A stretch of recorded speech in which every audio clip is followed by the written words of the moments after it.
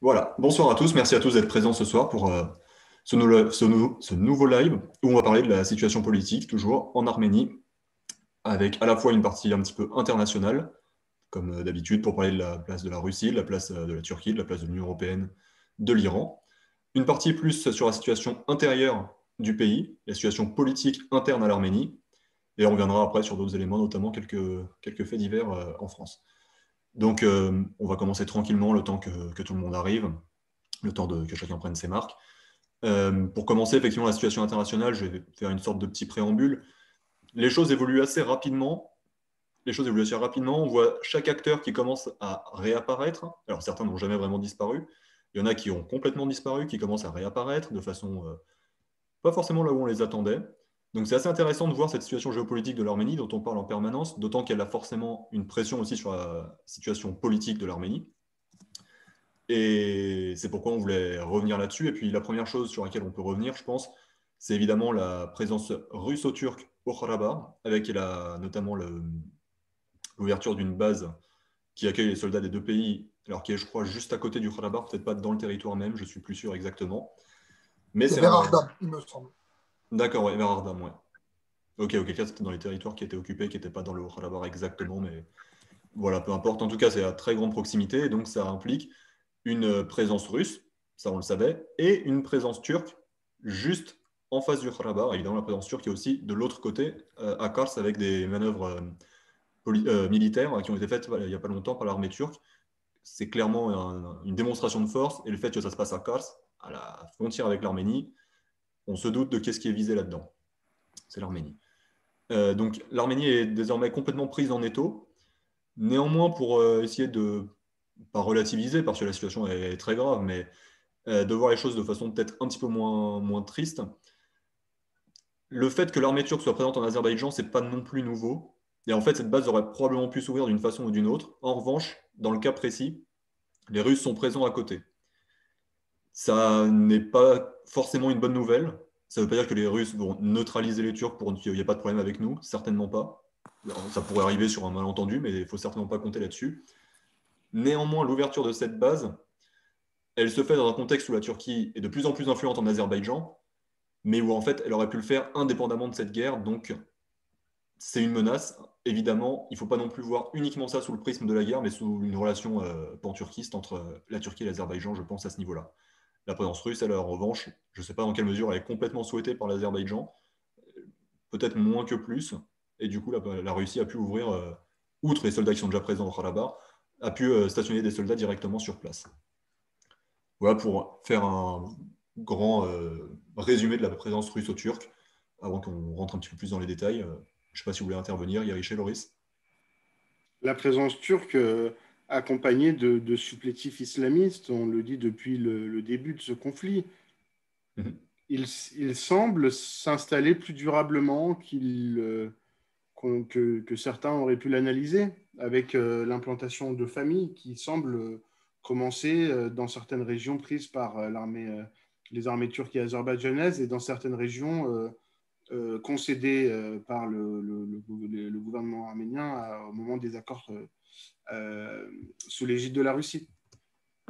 Donc, euh, donc un, problème de plus dans la région, puisque bien évidemment, euh, ces, familles ne, s'installent pas parce qu'elles n'ont plus de place en Syrie, elles s'installent parce qu'elles ont un projet, un projet d'implantation de, l'islam politique, un, projet djihadiste, un, projet de, de, fixer aussi peut-être une zone de tension plus, plus longue, notamment avec la Russie. Hein. On sait on sait que la Russie est l'un des ennemis euh, de ces mouvements islamistes qui ont été allègrement bombardés par les forces russes euh, dans certains endroits de Syrie.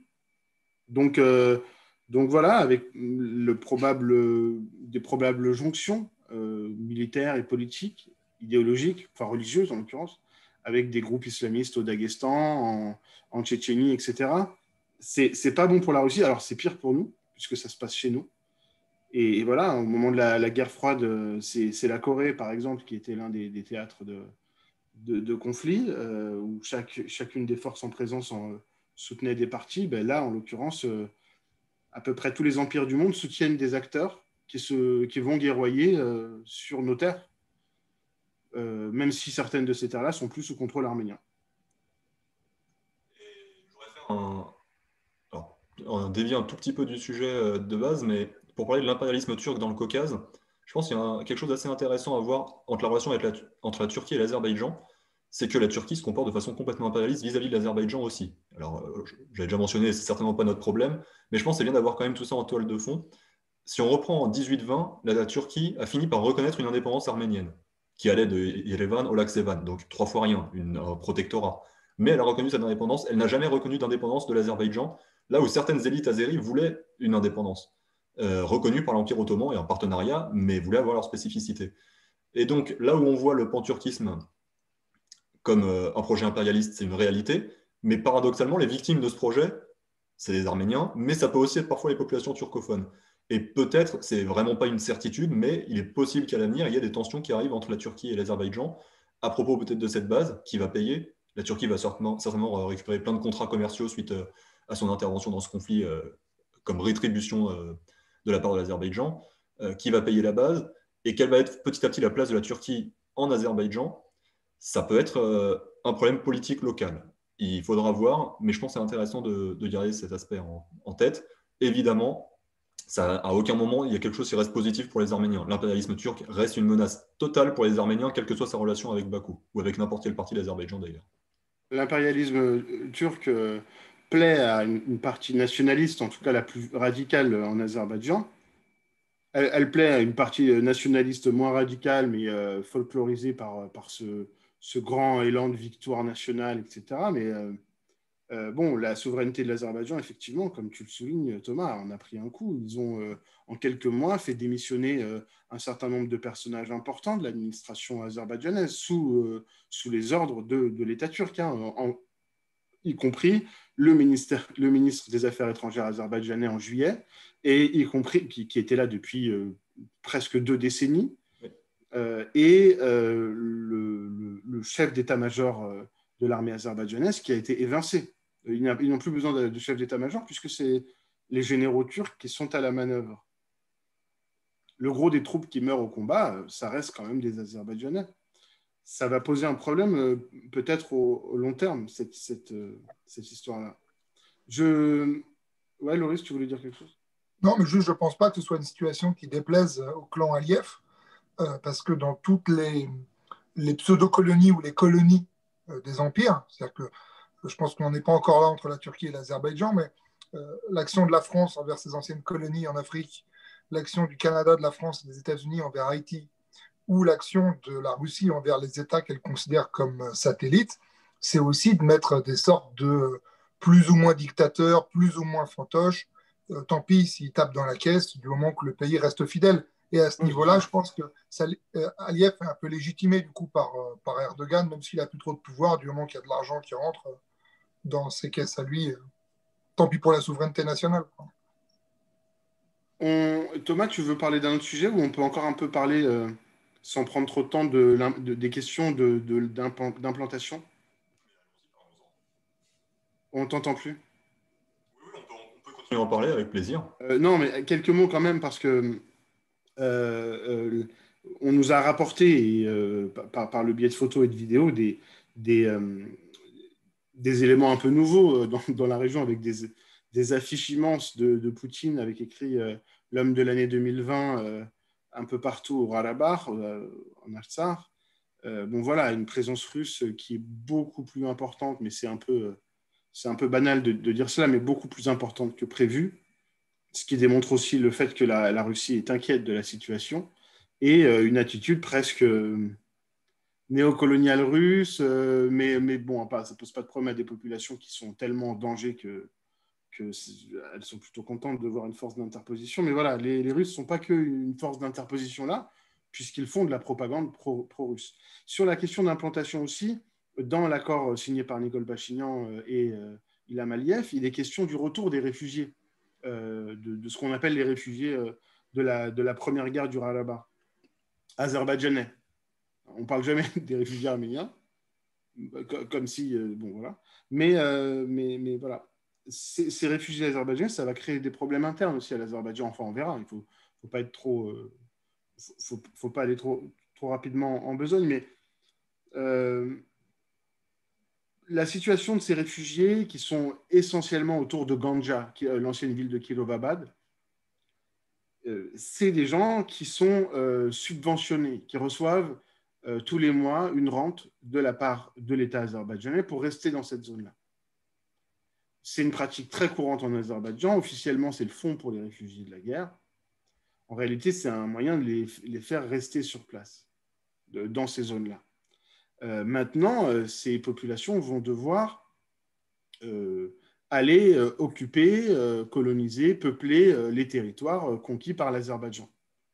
Et la presse azerbaïdjanaise parlait, et c'est relayé par un certain nombre d'azerbaïdjanologues en Arménie, euh, la, presse azerbaïdjanaise parle de, de, menaces du gouvernement de retirer cette subvention à ces réfugiés s'ils ne vont pas habiter euh, dans ces territoires conquis, qui sont des territoires un peu plus hostiles, ne serait-ce que par la, topographie, par la géographie et par le fait qu'on y a tué euh, ou viré des gens. Donc, donc je ne sais pas comment ils vont gérer cette situation, mais voilà, c'était c'était pour faire un peu le tour de comment ça se passe sur le terrain même si en réalité le, tableau est bien plus complexe, puisqu'il y a aussi, euh, on n'en a pas beaucoup parlé, hein, mais toutes les questions de, démarcation, de, nouvelles euh, délimitations entre l'Azerbaïdjan euh, et, l'Arménie et le Haut-Karabakh, avec des frontières qui sont déterminées en fonction de Google Maps, ce qui change tous les jours. Donc là aussi, des gros problèmes. Hein. Effectivement. Et pour euh, continuer sur euh, évidemment les relations entre l'Arménie et l'Azerbaïdjan, il y a eu cette rencontre euh, tripartite entre Ilham Aliyev, Nicole Pachinian et Vladimir Poutine pour essayer d'avancer un petit peu sur, sur les sujets pour implémenter un cessez-le-feu un petit peu plus durable et de nouvelles mesures. Parce que je crois qu'on l'avait déjà dit au live précédent, mais ce cessez-le-feu, il pose plus de questions qu'il apporte de solutions en réalité. Il a mis fin à la guerre, mais le nombre de questions qui vont avec sont, sont énormes. Et là, il y a un aspect qui a été euh, pas mal débattu, c'est celui de l'ouverture des transports, des voies de communication.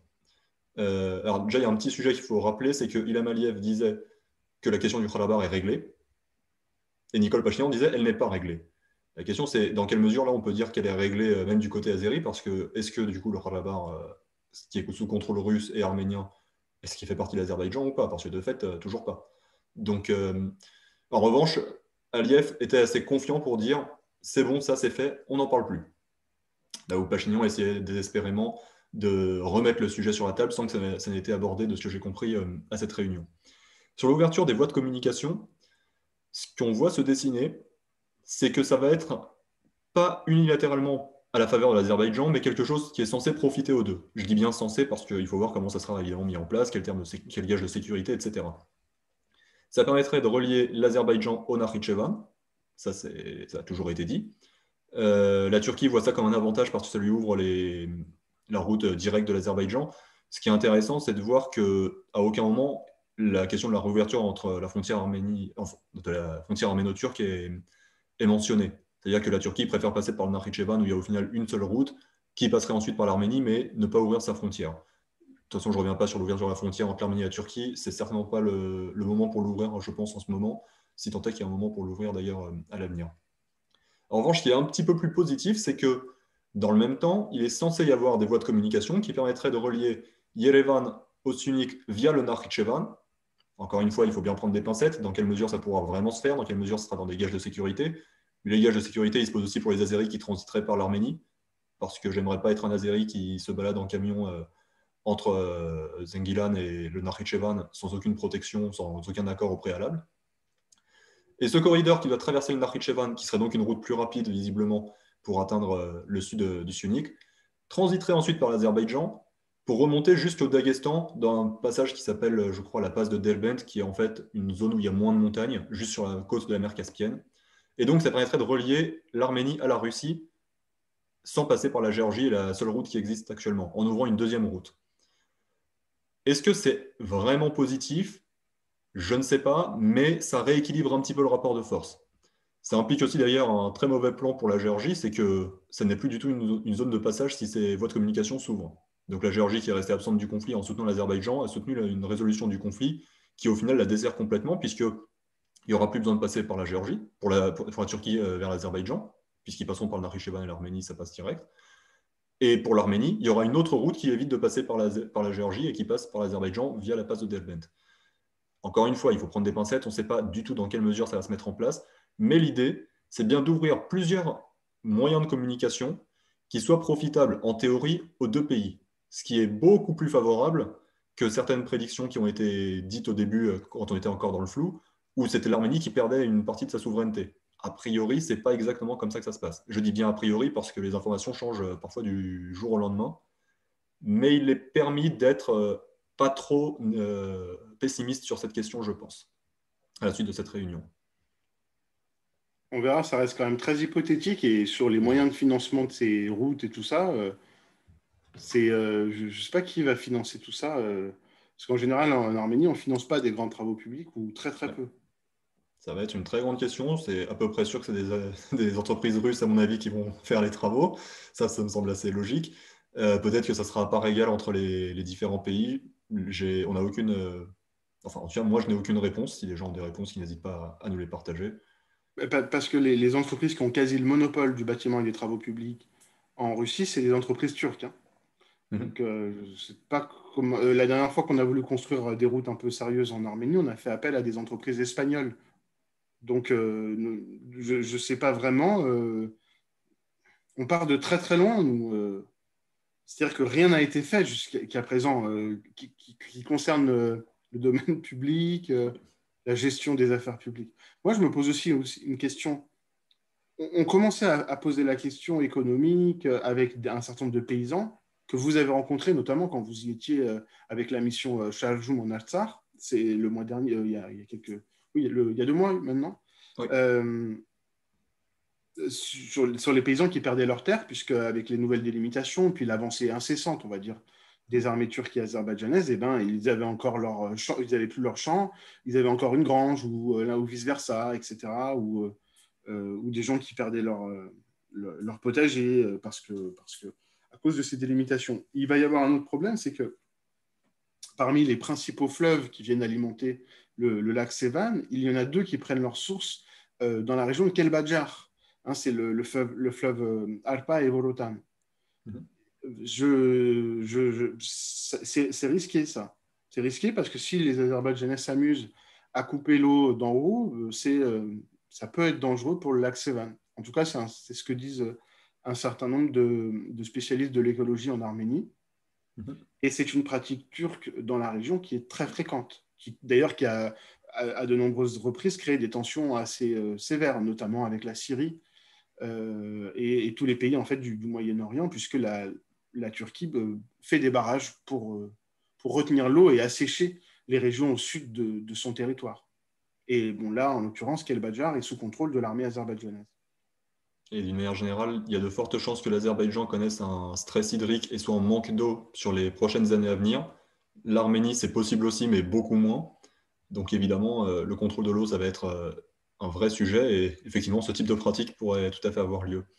En fait, ce qui est intéressant, je pense, avec cette réunion tripartite, c'est que, grosso modo, ce que moi j'en comprends, c'est que la Russie essaye d'imposer la paix par le haut à des États semi-satellites, voire complètement satellites, qui disent oui, tant que Poutine a les, clés en main. C'est un petit peu comme les relations entre Arméniens et Azéris qui, soi-disant, étaient excellentes, en tout cas étaient très bonnes sous l'Empire russe, tout le monde s'entendait bien. C'est complètement faux. Et dès qu'il y a un petit peu de chaos, les conflits ressurgissent.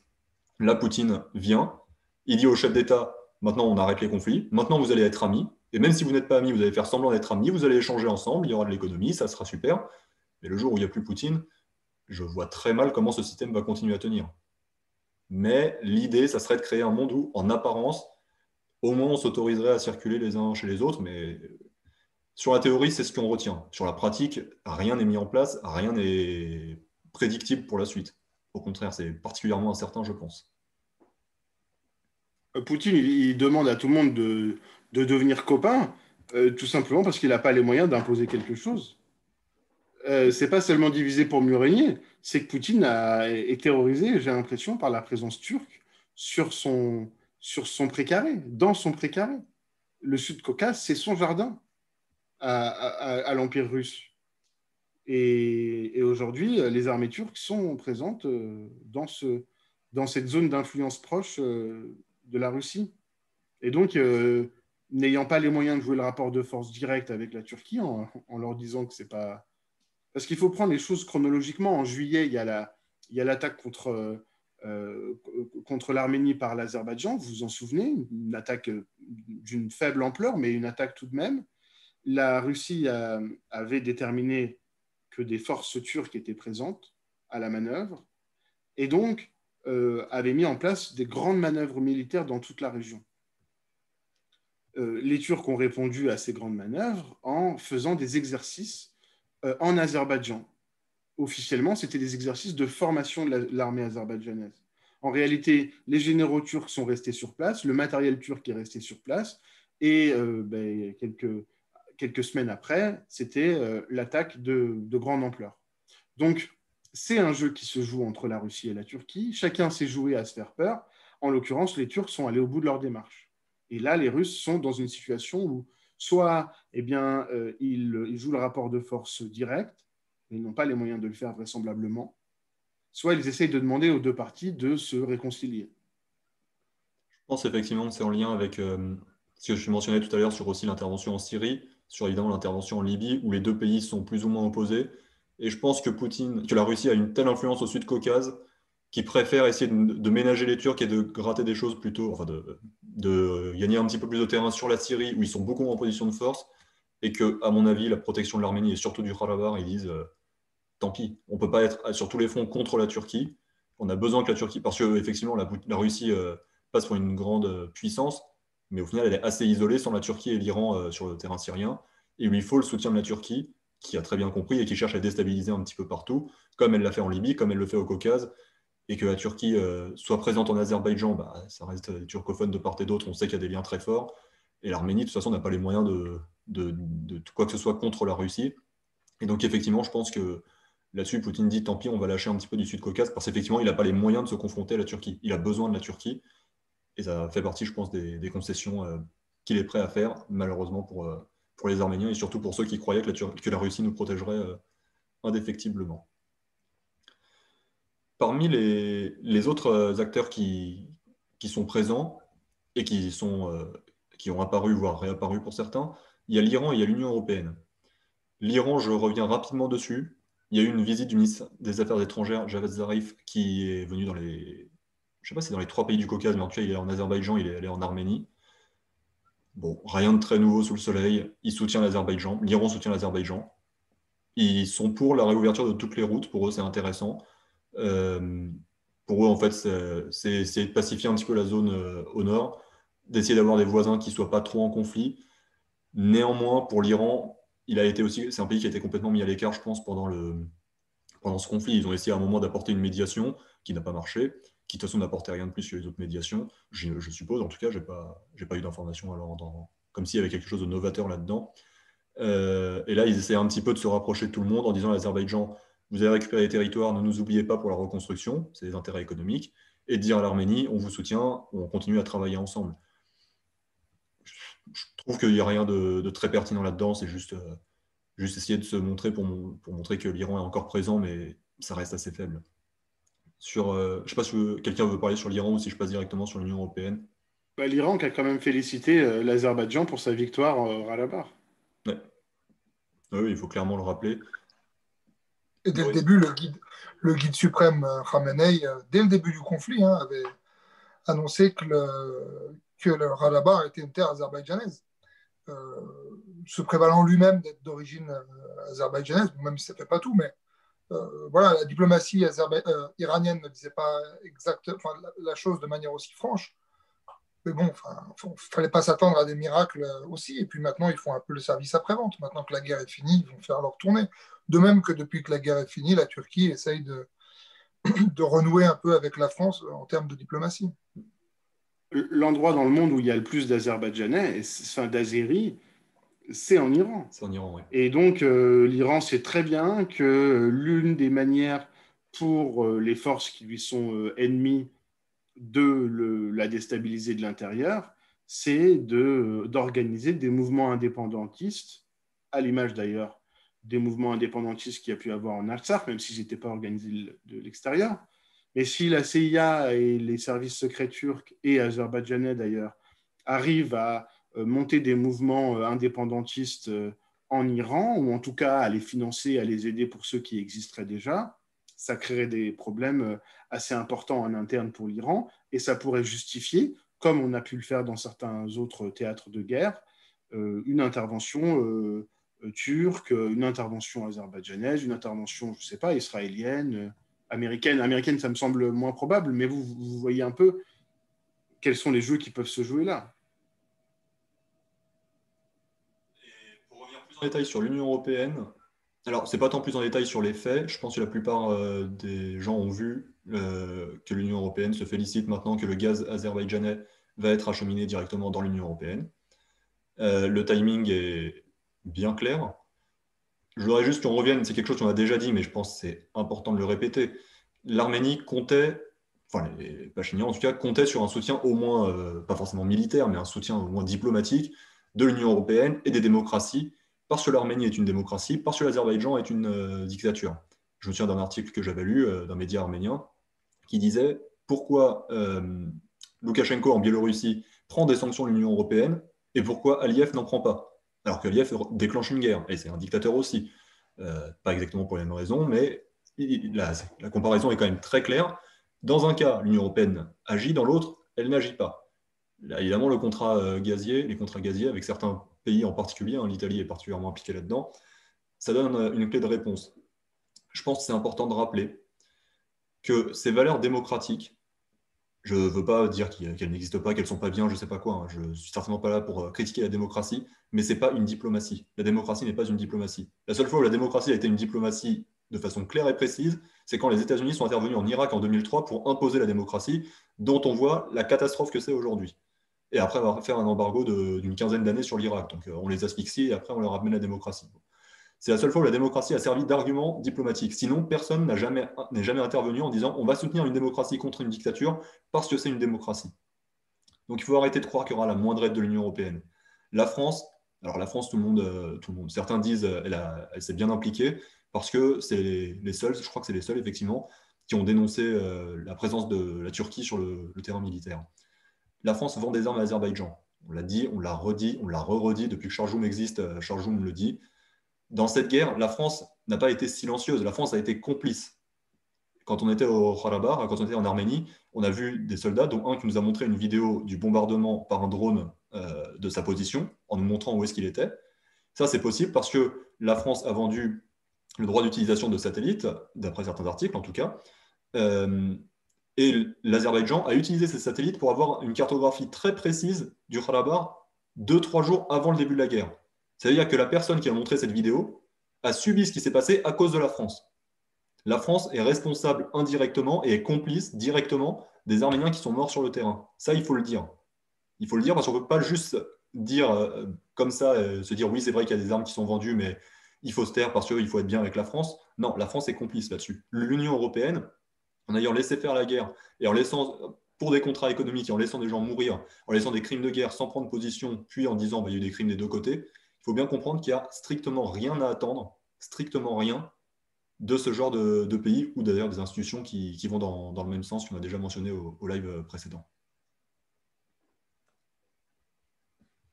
Je ne sais pas si vous voulez rebondir. Ça n'empêche pas euh, certains. Pardon, Thomas.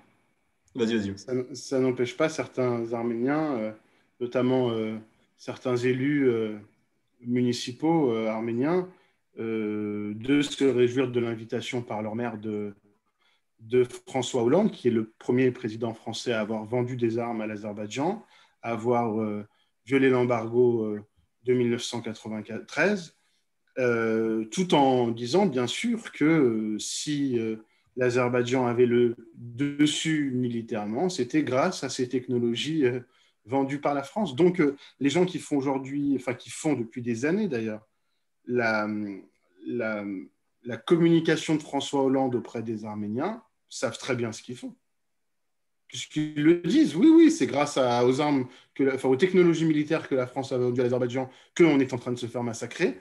Mais euh, soyons quand même sympas avec François Hollande, c'est un ancien président, il va peut-être euh, euh, pouvoir nous aider. on a bien vu, hein, quelques semaines après, on perdait la guerre et la France se fichait de nous. Oui, et puis ces mêmes élus dont tu parles, Ériché, ont même appelé la communauté à ne pas huer François Hollande. Pour deux, avec deux arguments. Le premier, c'est que c'était un ancien président, ça nous apportait une visibilité, donc tu l'as dit, on l'a bien vu, hein, ça a bien servi. le deuxième argument, c'est de dire c'est pas maintenant, c'est pas le bon moment. Admettons, admettons qu'on puisse, euh, puisse croire à cet argument. De 2014 à 2020, ce n'était pas le moment non plus. Hein. Euh, donc on a dîné avec cette personne-là, on l'a invité en, réunion du 24, en manifestation du 24 avril. L'Élysée a d'ailleurs euh, subtilisé presque hein, les manifestations du 24 avril à la communauté qui a plus le libre moyen d'expression pendant ces manifestations.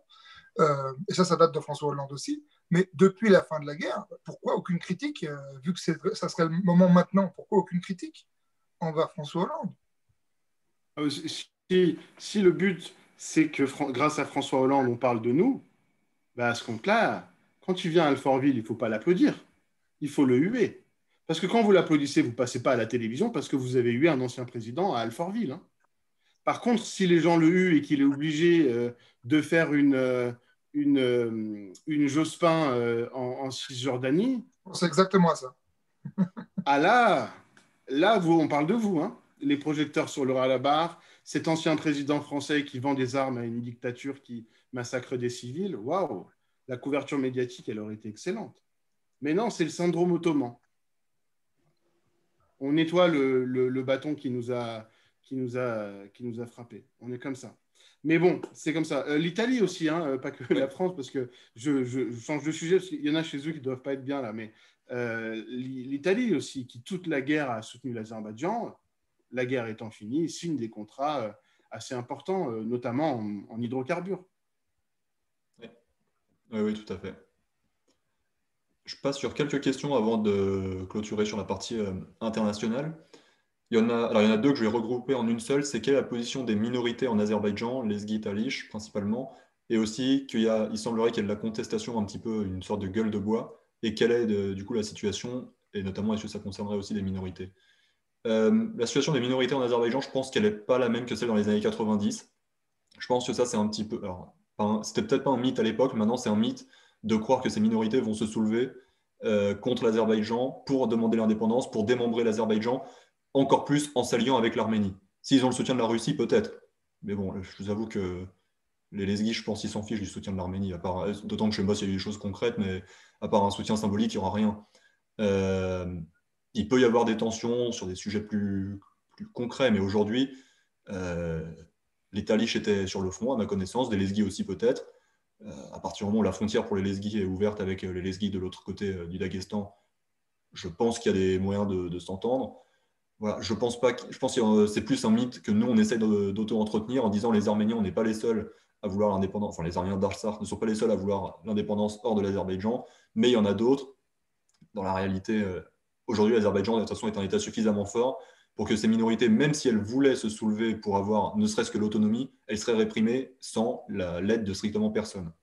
Donc euh, toute ma sympathie pour ces minorités, hein, je ne cherche pas à dire quoi que ce soit contre elles, mais si on veut le voir comme un argument géopolitique pour nous aider, j'y crois pas du tout. J'y crois pas du tout. C'est les mythes, euh, les mythes à l'arménienne, ça.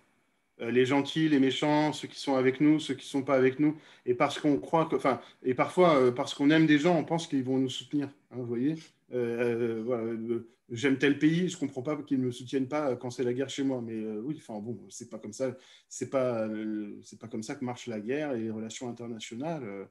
Euh. Et puis, il ne faut pas sous-estimer la, la, comment dire, la propension à l'obéissance à et à la soumission. Et ce n'est pas une insulte à ces minorités que de dire ça. Les Arméniens furent une minorité euh, à un moment de l'Empire ottoman euh, où ils étaient systématiquement, systémiquement et structurellement discriminés. Et pourtant, ils étaient euh, euh, soldats dans l'armée ottomane en 1915. C'est comme ça. Ils ne l'ont pas fait par idéologie ni par choix. Hein. Mais euh, on leur a dit, voilà, maintenant c'est la, Première Guerre mondiale. Enfin, à l'époque, on n'appelait pas ça comme ça. C'est la guerre mondiale. La Turquie est engagée. Vous êtes, vous êtes, vous êtes soldats. C'est comme ça. Quelques mois après, on les a massacrés lors de la, phase, finale du processus génocidaire des Arméniens. Mais en tout cas, c'est comme ça. Les minorités, elles obéissent. Et à propos de la contestation en interne, sur le long terme, il pourrait y avoir des choses, mais aujourd'hui, Aliyev est beaucoup plus puissant qu'il que Aliyev fils ne l'a jamais été. Il n'a jamais été aussi puissant euh, chez lui. Il a un titre, je ne sais plus, pas le libérateur, mais ou le commandant suprême, peut-être un titre comme ça, qui ne pouvait pas se donner avant. Avant, c'était le fils de son père. Son père était un dictateur, mais avec une très forte, un très fort charisme, une très forte aura en Azerbaïdjan, en bien ou en mal, c'est un autre débat, mais qui a pu s'imposer légitimement. Et Aliyev était celui qui est venu après. D'ailleurs, une partie des tensions avec l'Arménie suivent parce que Aliyev, se doit, Aliyev fils se doit de montrer qu'il est un homme fort et pas qu'il fait des concessions. Euh, maintenant, il a cette légitimité. Maintenant, les, tous les groupes d'opposition ont beaucoup moins de marge de manœuvre qu'ils n'en ont jamais eu. Les mêmes qui l'ont soutenu d'ailleurs pendant la guerre. Euh, ils n'ont pas eu toute leur, euh, toute leur marge de, négociation, de pouvoir. je pense que cette guerre, de toute façon, c'était nécessaire pour Aliyev parce qu'il était quand même très contesté par une bonne partie de la société civile, qui ne voulait pas forcément son renversement, mais qui voulait remettre à plat le système en Azerbaïdjan. Euh, avec une semi-révolution peut-être, et que là, ça a été pour lui l'occasion de dire, de jouer, euh, de jouer tapis, soit il tombe, soit il se maintient et en position de force euh, très, très affirmée. Bah, il a réussi son coup. Aujourd'hui, il y a peut-être des, gens qui sont pas contents de certaines choses dans la gestion de, l'Azerbaïdjan aujourd'hui, mais ils, n'ont plus de, plus de marge de manœuvre pour s'opposer à quoi que ce soit. Il faudra attendre 5-10 ans peut-être pour quelque chose. Une deuxième question alors là, ça va. Je peux improviser une réponse, mais je suis sûr de rien. C'est en gros sur l'arrivée de, Biden à la Maison-Blanche. Est-ce que ça, peut rechanger les choses? J'aurais tendance à dire que non. Moi, j'aurais tendance à dire que non, pour la raison simple que même si Biden est un démocrate, donc il est censé être euh, plus gentil peut-être que les républicains, euh, chez les démocrates, il y avait quand même Hillary Clinton, qui est l'une des personnes les plus pro-turques qu'il n'y ait jamais eu dans l'establishment américain des, dernières années je ne connais pas les positions de Biden exactement, mais c'est quelqu'un qui vient des, de la vieille classe politique. La vieille classe politique aux États-Unis, c'est ceux qui sont dans l'OTAN. C'est ceux qui veulent que la Turquie soit dans l'OTAN pour faire barrage à la Russie. Les menaces que Biden va identifier, je pense, ça va être la Russie et la Chine. Ça ne sera pas la Turquie. La Turquie, ça va être, il faut qu'on essaie de se mettre plutôt bien avec eux. Et l'Arménie, là-dedans, euh, ils s'en fichent. Euh, moi, j'ai la même tendance que toi, Thomas. C'est les États-Unis d'Amérique. Euh, et c'est surtout l'apparat qui change en réalité entre républicains et démocrates. Euh, ça veut dire que quand on a un démocrate à la tête, les États-Unis semblent plus gentils que quand c'est un républicain. Alors c'est vrai qu'on était certainement dans l'extrême avec Donald Trump. Je pense que ce qui va changer, c'est plus la question de l'isolationnisme. Je pense que les États-Unis vont un peu sortir de l'isolationnisme dans, lequel, dans lequel Trump euh, les a plongés. Bon, mis à part ça, voilà. Je pense ça ne peut, pas être pire que Trump euh, pour l'instant. Enfin, bon, on, a toujours des, mauvaises surprises. Hein. Mais, euh, mais, bon, Trump, c'était le président le, qui, a, coupé les, toutes les aides américaines à, l'Arménie, hein, ne l'oublions pas. Trump était l'homme d'Erdogan. C'était la chose d'Erdogan. Enfin, vous vous souvenez de la bagarre avec les, les gardes du corps, enfin les, oui, les, gardes du corps euh, présidentiel, etc. Je veux dire, les, tensions auraient pu naître hein, euh, avec tout ce que Erdogan s'est permis de faire. En fait, euh, bon, bah, c'est l'enregistrement qui a été sorti par la NCA hein, sur, Trump qui dit voilà, tous mes actifs sont en Turquie et en Azerbaïdjan, en fait. Donc, je suis, je suis l'homme, je suis l'homme d'Erdogan. Il fait ce que Erdogan lui, lui dira. Après, bon, voilà, moi je me méfie parce que les Arméniens étaient contents et en général, quand les Arméniens sont contents, euh, j'ai très peur. Ils se réjouissaient qu'un proche euh, conseiller de, Joe Biden euh, serait d'origine arménienne. moi, ça m'inquiète ce genre de choses.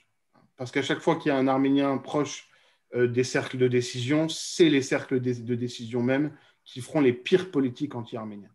C'est comme ça c'est, euh, je ne sais pas pourquoi, en tout cas, il faudrait une émission entière pour expliquer ça, mais en général, quand il y a un proche, eh bien, euh, ou un Arménien en poste de responsabilité, c'est les politiques les, plus anti-arméniennes qu'on a. c'est comme ça. Oui, parce qu'il y a encore une trop grosse partie euh, de la diaspora arménienne, des Arméniens en général, je pense, qui pensent que génétiquement, un Arménien est un défenseur de la cause arménienne on sait qu'on en est bien loin, euh, bien au contraire. d'ailleurs. Enfin, c'est pas ce qui fait tout. On a, on a connu Serge Sarkissian quand même, hein, qui n'était pas le plus grand défenseur de la cause arménienne, vu qu'il a, il a pillé le pays. Pourtant, il était 100% arménien, hein, rappelons-le nous. Mais effectivement, il, faut, faut, il faut être sérieux. même Abdoulaye Gül a eu un conseiller arménien, hein, d'origine arménienne. Bien sûr, Lavrov serait euh, d'origine arménienne, Saakashvili qu'on a oublié, Saakashvili qui aurait peut-être des origines arméniennes aussi, Sarak, euh, une des politiques les plus anti-arméniennes dans le pays, c'est lui. Donc euh, bon. Donc ça ne fait pas tout. Généralement, quand on se rapproche du pouvoir, généralement, ça fait tout l'inverse d'ailleurs. Je passe sur une dernière question avant qu'on passe à la situation politique de l'Arménie. Euh, une question où il nous a demandé si euh, Chouchi est vraiment sous contrôle azéri parce que selon certaines informations, sous contrôle russe. Alors, moi, de ce que j'ai pu voir quand j'y étais, c'était il y a deux mois du coup, euh, c'est la Russie qui contrôle pour une raison qui est déjà évidente, c'est que l'Azerbaïdjan n'a quasiment pas les moyens d'y aller. je rappelle que l'Azerbaïdjan est passé par des montagnes, qu'après l'hiver est arrivé. Il y avait quelques vidéos qui circulaient où on voyait des accidents de, la route parce que les routes sont impraticables parce que les routes sont beaucoup plus boueuses, puis elles sont sous la neige, et c'est très difficile d'accéder à Chouchi euh, sans passer par les routes qui sont au sein du Karabakh sous contrôle russe et arménien, euh, au moins en théorie. Euh, donc pour l'instant, effectivement, les Azeris sont très peu présents à Chouchi. Oui, les sont peu présents à Chouchi. Il n'y a pas eu de retour des réfugiés pour l'instant, parce qu'il n'y a pas encore les moyens de faire ça. Ça peut changer par la suite, comme ça pourrait peut-être ne pas changer, parce que peut-être que la Russie va un petit peu laisser faire venir des réfugiés, mais que ça ne soit pas vraiment rendu pour des questions de, pour des questions militaires, peut-être. C'est, Ils sont en train de construire la route. Hein. Ils, sont, en train de construire, oui. Ça, oui. Mais il est possible que l'armée russe reste aussi présente à Chouchi. C'est des gens qui laissent cette possibilité, euh, qui évoquent cette possibilité. C'est pas impossible. Mais comme, euh, comme vous le savez, de toute façon, et comme on l'a dit, mais quand on voyait les cartes, tout change du jour au lendemain. Il est possible qu'aujourd'hui, ce soit vrai, que ça ne soit pas demain ou l'inverse. Tout peut arriver. En revanche, oui, à partir de l'été, les Azeris vont revenir, euh, au moins en termes de civils, et d'infrastructures euh, moins civiles probablement, vont revenir en masse à Chouchi. Ça va être compliqué, Chouchi. Euh, Erdogan parle de Chouchi. Euh, ils annoncent avec Aliyev que ça sera la capitale en 2022 du monde islamique.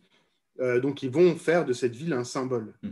Donc, ils, voilà, c'est comme ça. C'est, ils, vont, ils vont tout miser là-dessus. Les Lougris, enfin, le, le MEP, le, le Parti d'action nationaliste, euh, l'extrême droite de l'extrême droite de l'extrême droite turque, euh, les Logris ont décidé d'en faire un de leur fief. Donc, ils, vont, ils, ont, ils ont annoncé qu'ils construiraient une école. Ils vont en faire euh, une zone nationaliste et islamiste à fond, quoi. Leur capitale. Et les Lougris sont très implantés aussi en Azerbaïdjan.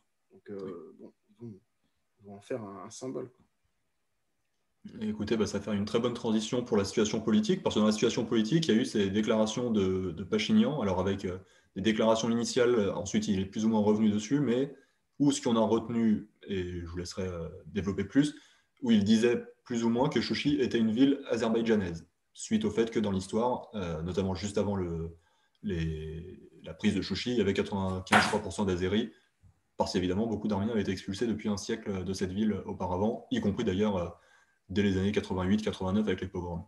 Et donc il y a eu cette, euh, phrase de, de, Pachignan qui est très inattendue, qui est très peu compréhensible puisque lui-même est revenu un petit peu sur ce qu'il a dit. Je vous laisse euh, intervenir euh, sur ce sujet.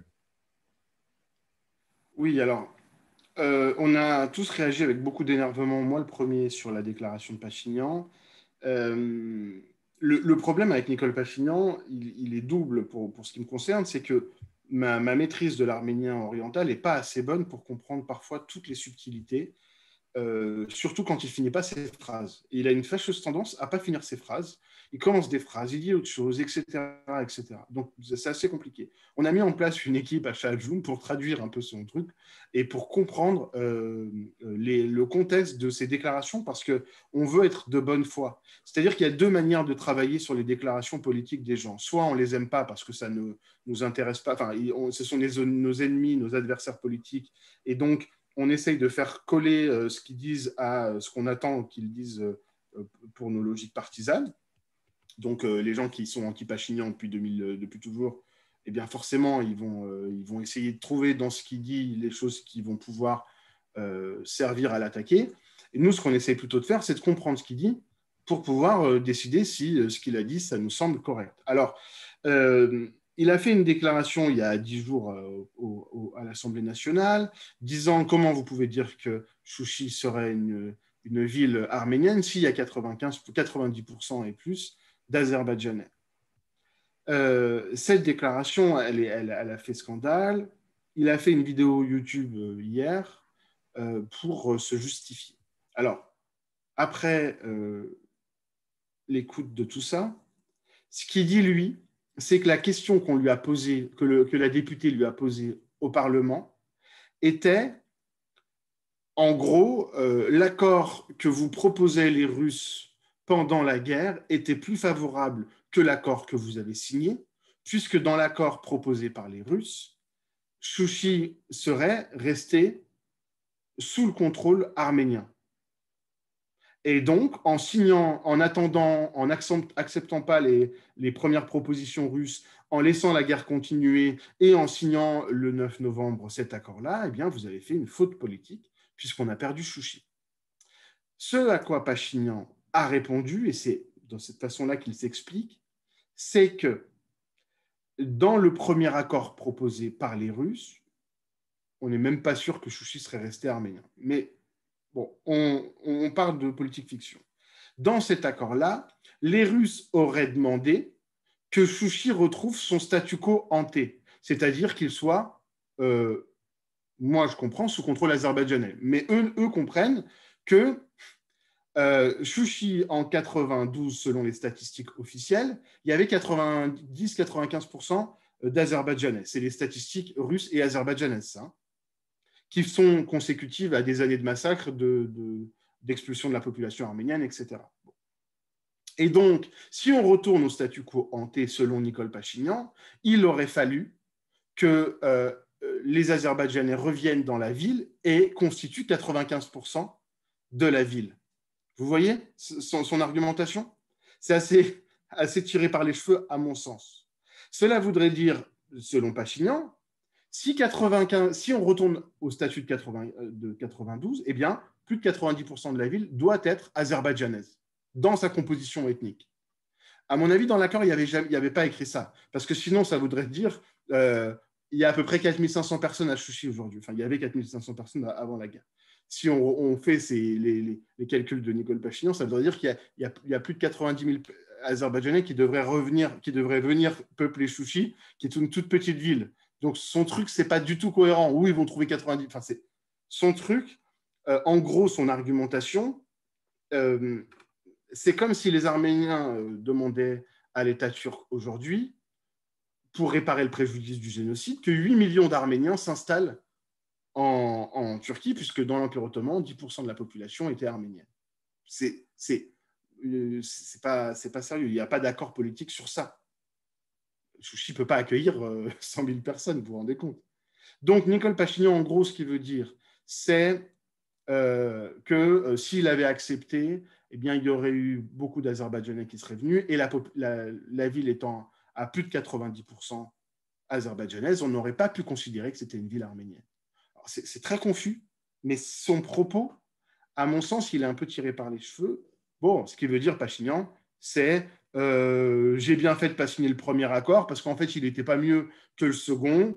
Euh, et dans tous les cas, bon, bah, j'ai eu raison de signer. Quoi. Euh, le second accord n'est pas pire que le premier. C'est à peu près ce qu'il veut dire. Bon, il se perd dans son truc. Parce qu'il est dans une logique politicienne. En gros, Nicole Pachignan, aujourd'hui, il veut défendre l'accord qu'il a signé avec Poutine et Aliyev, parce qu'en fait, il veut défendre sa place, il veut défendre sa crédibilité. Euh, au lieu de dire, bon, c'est un mauvais accord, euh, j'aurais pas, dû le, signer, mais je n'ai pas eu d'autre choix, eh bien, il dit, voilà, en fait, bah, tous les accords qu'on m'a proposés avant n'étaient pas meilleurs, et cet accord, il est, finalement, bon, il est presque normal, quoi. Donc là, il y a un problème. C'est moins grave que les interprétations euh, qui avaient été faites euh, au début, euh, parce que c'était très incompréhensible. C'est moins grave, je, pense, du moins à mon sens, mais ça reste, ça reste pas à la hauteur des enjeux du tout. Non, moi je trouve que ça reste pas à la, hauteur des enjeux. parce que cette situation, elle est symptomatique, de, à mon avis, hein, de Nicole Pachignan qui, qui part trop seul à la négociation et dans les rapports de force.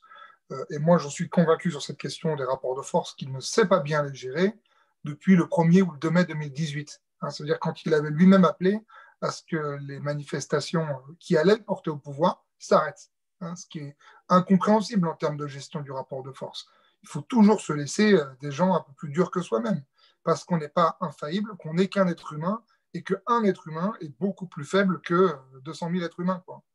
Euh, replaçons les choses dans leur contexte. La députée aussi qui lui pose la question, euh, c'est une députée qui appartient à l'ancien régime. et c'est pas très honnête non plus quand on est de l'ancien régime euh, de dire euh, c'est une trahison d'avoir euh, signé les accords, il fallait pas les signer, mais il fallait aussi les signer plus tôt. Il faut aussi choisir. Bon, mais ça, c'est la, question de l'opposition dite parlementaire, hein, qui, je le rappelle, représente 5% des votes aux dernières élections législatives. 16-17 hein. partis, 5% des votes. Hein. Donc euh, voilà. Ce qui ne veut pas dire qu'il n'y a, pas de mécontentement dans la population. Bien sûr qu'il y, a un mécontentement dans la population et qui, à mon avis, grandit du fait que la boussole de Nicole Pachignan, elle est plus, euh, elle est plus très claire. Euh, est-ce que, est-ce qu'il est toujours le porte-parole de l'Arménie vis-à-vis de l'espace des négociations, Russie, Azerbaïdjan, pour, ce, pour ce traité, pour ce, pour ce traité de paix ou ce, euh, cessez-le-feu Est-ce que c'est le porte-parole du pays ou est-ce que c'est le porte-parole des négociations auprès du pays? Je pense qu'il jongle entre les deux, ce qui est synonyme généralement soit d'une très mauvaise posture, je ne dis pas que c'est simple, hein, euh, soit euh, d'une mauvaise équipe de, négociation, hein, parce que c'est dur la négociation, c'est dur la gestion des rapports de force. Hein. on sait qu'effectivement, énormément de médias en Arménie sont aux mains euh, de Serge Sarkissian ou de ses proches, de Robert Kocharian ou de ses proches, euh, du, de la FRA, c'est-à-dire euh, des proches de Robert Kocharian et de Serge Sarkissian. donc effectivement que c'est pas simple, effectivement que tout le monde va lui tendre des pièges. Mais quand on a une boussole beaucoup plus claire depuis le début, ça veut dire sortir de la guerre, faire un résumé de ce qui s'est passé, il s'est passé ça, ça, ça. Oui, cet accord n'est pas bon mais on n'a pas les moyens de faire autre chose. Il pouvait le dire, ça. Hein. C'est dur à dire. Mais au moins, ça lui permet de dégager sa responsabilité de la défaite. Pas en totalité, évidemment qu'il est aussi responsable. Euh, mais il n'avait gouverné que deux ans. Voilà. Au lieu de ça, il s'entête, sur cette voie de négociation à défendre des choses qu'il normalement ne devrait pas défendre. Quoi. Et ce n'est pas des pratiques qui sont compatibles avec le message du soulèvement de 2018. Oui. Le message du soulèvement de 2018, c'est. Euh, nous sommes les maîtres chez nous. C'est pas je suis le maître chez moi.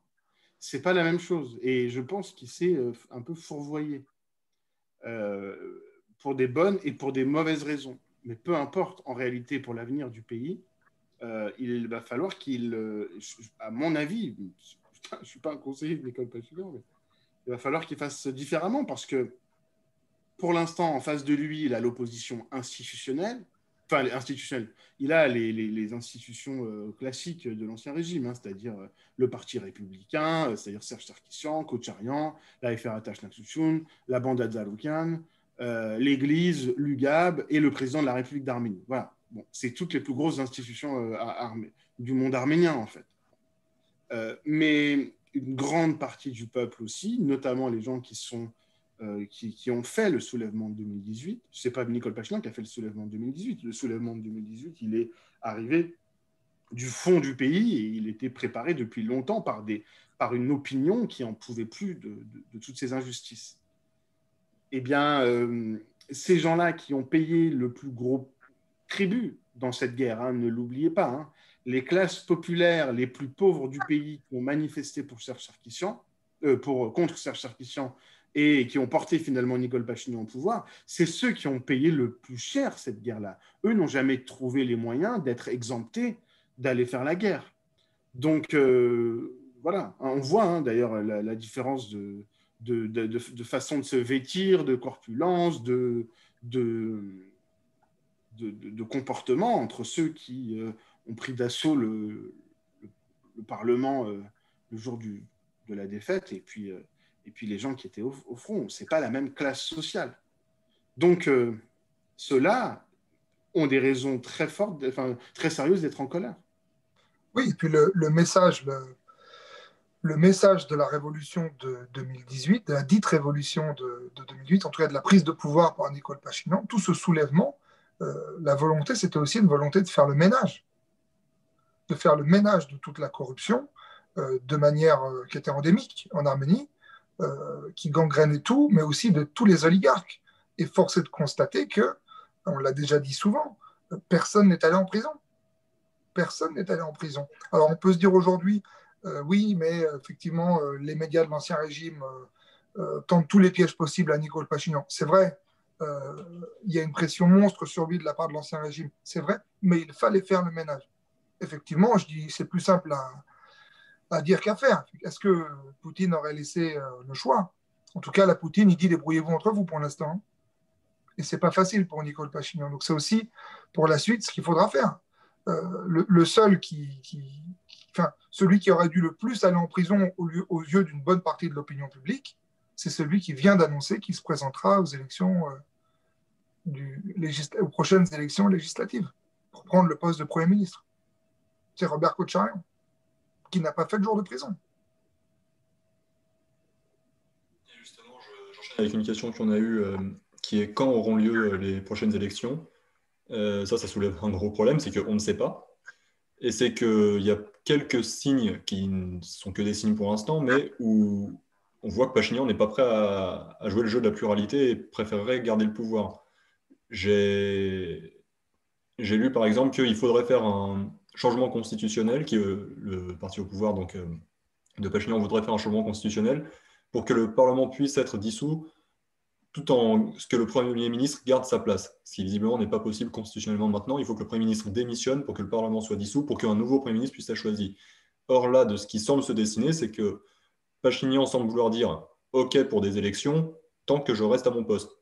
Euh, ce qui n'a aucun sens. Ce qui n'a aucun sens parce qu'au contraire, à la rigueur, il vaut mieux choisir le Premier ministre et garder peut-être les, élus parlementaires, mais dire on garde le Premier ministre qui a signé cet accord en changeant les parlementaires, mais les parlementaires euh, ne peuvent pas le nommer nouveau Premier ministre, ça paraît quand même assez curieux.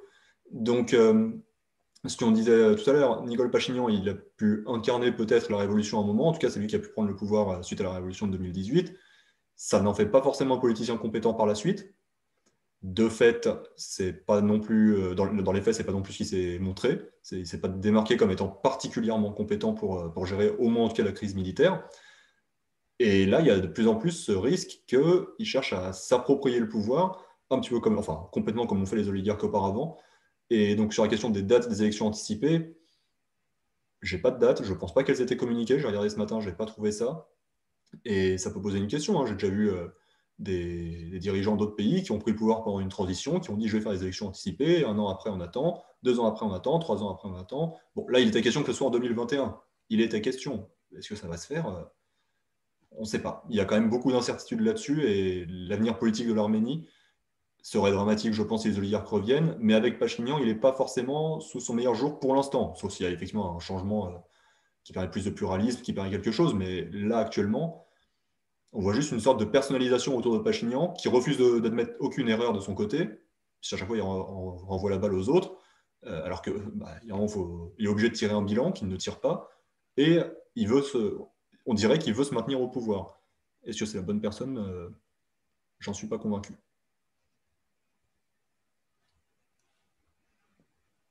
Bah, c'est la solitude du pouvoir. Mais la solitude du pouvoir, elle dénote aussi de la défaite des idées. Ça veut dire qu'il n'y a pas eu un programme euh, clair sérieux qui a été, euh, qui a été euh, qui est sorti de cette, cette, prise de pouvoir en 2018, la, la dite révolution de, de Velon.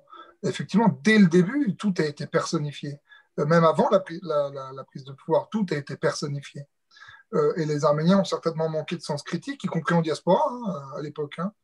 Euh, nous, on nous disait, vous inquiétez pas pour les manifestations, il suffit que Nicole Pachignan fasse ça pour que les manifestations reprennent. Quel amateurisme euh, à, ce niveau-là. Euh, bon, bah, c'est la solitude du pouvoir maintenant. C'est-à-dire qu'il faut effectivement tirer le bilan. Ouais, ça, manque quand même de tout ça, de, de préoccupation de l'intérêt général, de, des intérêts nationaux, de, et y compris dans l'opposition. Hein, euh, pour moi, Nicole Pachinian ne fait pas la démonstration de la hauteur euh, qu'il devrait avoir dans une situation terrible, puisque les forces turques ont attaqué. On n'est pas dans une situation de guerre larvée. Là, il y a eu une, guerre, on a perdu euh, des territoires, on a des réfugiés, enfin, la situation est terrible. À Hadrout, il y a eu des massacres de civils, on ne va pas se mentir. Euh, à, Karindag, aux alentours de Chouchi, il y a eu des massacres de civils. Et à Chouchi, on ne sait même pas vraiment ce qu'il s'est passé. Et j'ai peur euh, aussi que ça soit comme à Hadrout et qu'on retrouve des corps, etc. Dans ces moments-là, je pense qu'il aurait fallu euh, autre chose que des, des, missives Facebook, etc. Enfin, ça me fait... et, en face, l'opposition, à mon sens, vraiment, hein, ne donne pas les gages de cette hauteur de, point de vue non plus. Euh, bon, d'une part parce qu'une partie de l'opposition est grillée. Hein, euh, c'est pas Serge et Cocharian qui vont avoir la confiance du peuple, à moins qu'ils euh, arrivent à payer suffisamment de gens pour passer pour, devenir premier ministre. ça, je ne sais pas. Mais et, même des partis historiquement nationaux, comme, comme la FR Attache ne, ne semblent pas avoir un discours ni une attitude qui soit en rupture avec leur collaboration avec l'ancien régime. Donc, euh, quand, par exemple, le représentant du parti Tachnaksuchun en France, qui est aussi le président du CCF, Franck Papazian, dit à l'antenne de HypeFM, euh, de toute façon, en 2018, c'était une révolution de couleur, appelons les choses par leur nom, euh, et c'était Soros et les Américains derrière. Bon, on voit là un peu la, comment dire, la fébrilité de l'argumentaire, c'est-à-dire qu'on est obligé de raconter des, des, trucs qui sont dans une approximation totale parce qu'on n'a pas d'argument politique et qu'on ne peut pas non plus se prévaloir de succès. Euh, je, le rappelle parce qu'il faut répondre à ces, à argumentaires qui relèvent franchement de la propagande du moins bon niveau. Il hein. ne euh, faut pas oublier quand même que quand on dit que c'est Soros qui est derrière le soulèvement de 2018, outre le fait que ça vise à, à totalement faire oublier qu'il y avait des injustices dans ce pays quand, quand tous ces partis étaient au pouvoir, euh, l'AFR Attached Institution, son principal média, reçoit de l'argent de l'Open Society, qui est la fondation de Soros. Hein. Euh, depuis 2009, ils ont reçu 160 000 dollars, ce qui n'est pas une somme énorme non plus. Euh, et en réalité, tout le monde en Arménie, en tout cas beaucoup de monde, touche de l'argent de Soros. Les pro-gouvernementaux d'avant, c'est-à-dire les pro-Serge, les pro-Koucharian, et l'opposition les droits de l'homiste comme un certain nombre de médias de, tout bord. Et les sommes, en réalité, sont peu élevées. On n'est pas. Euh, moi, j'ai la chance d'animer un séminaire depuis quatre ans à l'université sur les questions de transition. Et quand on parle de transition politique, on parle forcément, on étudie forcément, on fait des recherches sur les mécanismes et notamment de la société civile. Et la fondation Open Society de Soros joue un rôle très important, notamment dans les, dans les pays euh, de, de l'ex-zone d'influence soviétique. Quand on compare avec les autres pays, ça n'a rien à voir il faut, il faut connaître un peu le modus operandi. Et ça, je ne le dis pas pour répondre euh, uniquement à ces assertions, mais je, le dis euh, pour que les gens qui peuvent euh, être sensibles à ce discours sachent de quoi ils retournent. il y a un modus operandi, operandi de, Soros et de ses fondations pro-américaines lorsqu'elles font des révolutions de couleur, comme on dit. D'ailleurs, il faut nous dire de quelle couleur il s'agit là. Soros, il ne se lance jamais dans une révolution sans l'appui du département américain. Ce n'est pas quelqu'un qui organise ses propres révolutions. Or, les États-Unis d'Amérique n'ont pas soutenu le soulèvement de 2018. Et pire encore, euh, à partir de 2018, l'administration euh, Trump a baissé le budget d'aide américain euh, à l'Arménie de 70% et, si on fait une comparaison avec une autre euh, révolution où là, Soros et les Américains étaient présents et étaient un peu à la manœuvre, étaient même beaucoup à la manœuvre, euh, la révolution des roses en Géorgie. Dès son arrivée au pouvoir, euh, Mikhail Saakashvili a, été, a, eu une aide américaine qui a atteint des records.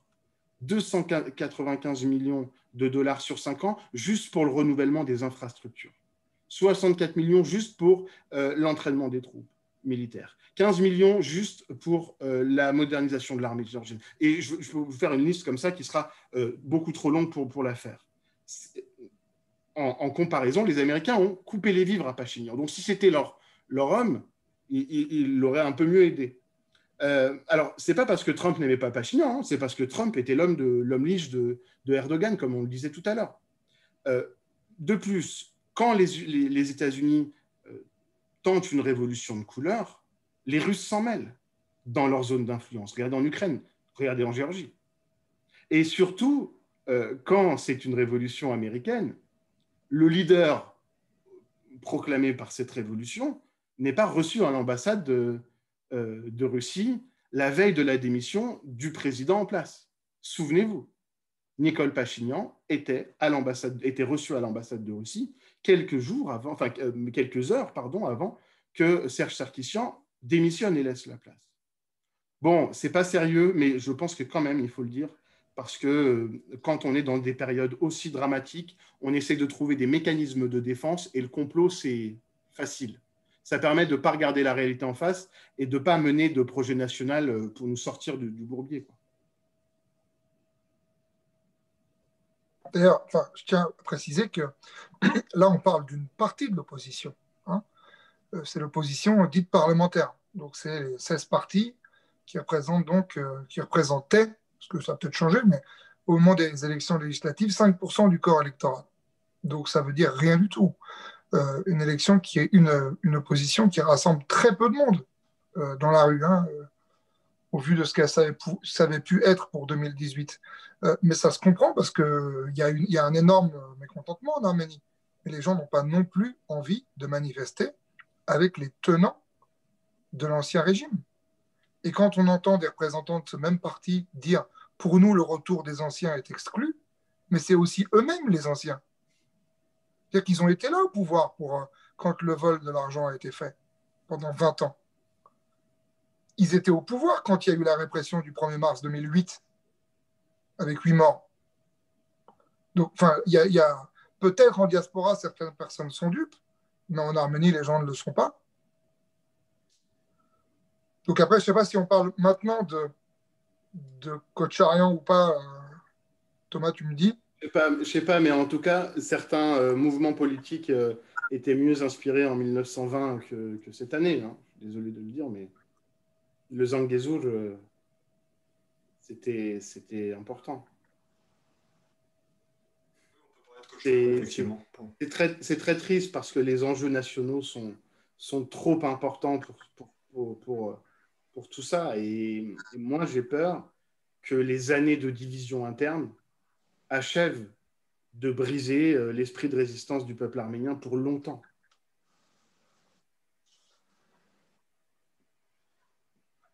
Oui, Laurie, si tu voulais parler de Kocharian, on a un petit peu de temps, allons-y. Hein. Oui, ben, en fait, je, je, vais rebondir sur ce que disait euh, Yeriché. Briser l'esprit de résistance et l'esprit un peu frondeur euh, du peuple arménien, ça passe aussi par le mensonge. Ça veut dire que quand on a une posture, vous savez, très chauvine, très chauvine, euh, très machiste, comme en avant les valeurs très traditionnelles, euh, alors qu'en réalité, on pille le pays.